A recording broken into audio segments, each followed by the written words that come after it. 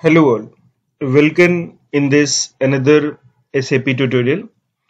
In this SAP tutorial, we will learn how to create a service entry sheet. Basically, you should first understand what is the service entry sheet. Service entry sheet is a SAP MM document which indicates and that user has verified vendor services which is supplied by vendor as per the terms and condition of the purchase order clause right?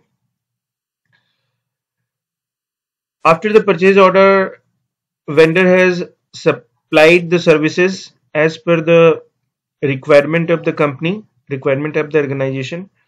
So concerned project in charge will create the service entry sheet and verify the vendor service as per the routes okay? So in this SAP tutorial we will learn how to create service entry sheet as per the purchase order. These are the some SAP transaction code that is how can you create the service entry sheet? Transaction code is ML81N how can you uh, display the approved service entry sheet using ML81 same transaction code? SES changes before approval. You can change using ML81 and same transaction code. How can you amend the SES? You can amend the SES using same transaction code ML81 and using competent authority login who has approved the service entry sheet, right? How can you print the service entry sheet? The transaction code is ML83 if 99.99% you can try to approve your service entry sheet with attached necessary document in the attachment corner using workflow. But if 0.01% workflow issue is there then you your competent authority directly approved the service entry sheet using ML81N. It should be used in the rare case okay. Until unless there is any emergency your bill is going to expire and all. Okay. Otherwise you can consult with your uh, mm consultant team. Uh, they will resolve the workflow issue and you can approve through workflow. This tutorial i am going to show you for just uh, your learning purpose training purpose and understanding purpose. Please share this tutorial with your concern sections. Okay and here I will see also if you want to go apply any deduction as per the PO clause then you can, how can you apply? So we will see the practical how to create the service entry sheet. First you should execute the transaction code ML81N click on the other purchase order. And here you can fill your approved purchase order. Fill the respective line item for which you want to create service entry sheet. Otherwise by default it will pick a first line item. Click on this icon create service entry sheet. Mention the short text. Test SES created for your job. Test services okay? Here you can mention the service provided by vendor from which duration to which duration. Service location if any external number you can fill here person responsible external person responsible internal you can uh, fill your HRMS number. Here you can fill your uh, storage location. Here reference circle okay? And click on adopt full quantity. If you want to adopt full quantity from the purchase order you can adopt full quantity.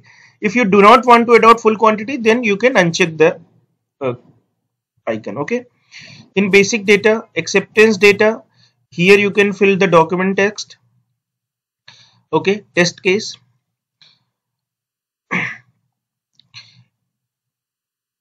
Test PR and PO in the long text you can fill the detail of your SES and here there is a corner column you can uh, create attach the necessary document uh, with respect to service certificate. Here you can mention test service supplied by vendor and all. Okay. In the additional data you can apply the deduction. For example you want to apply 1 rupees deduction 50 paise deduction. For in case my purchase order is for 2 rupees so I have applied the 50 50 paise rupees deduction here. Okay.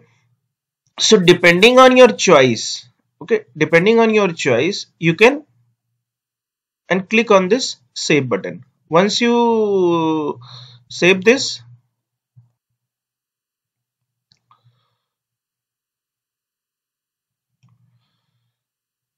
approve the service entry sheet using workflow right?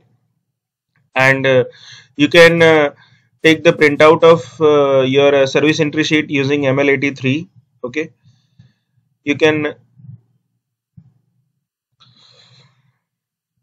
and you can display the same using ML81N okay?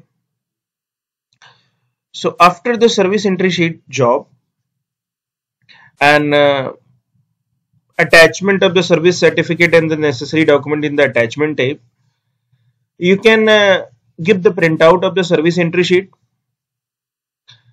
to your claim section okay we have complete this service because and after the completion of the service supplied of the service within within a week vendor will issue the invoice process and uh, the claim officer or your account officer will uh, run the MIRO and uh, done the payment to the vendor, right? If you want to do any changes, then the same process, uh, amend the SES from the competent authority login, approver login, and reverse the R2 R1 and do the changes. I will show in the different tutorial. Okay. So thank you for watching this uh, SAP tutorial.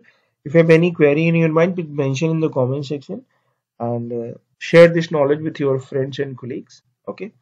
Knowledge sharing is very important. Okay. Thank you. Have a good day.